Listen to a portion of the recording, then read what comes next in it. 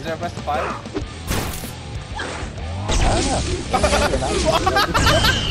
I don't know.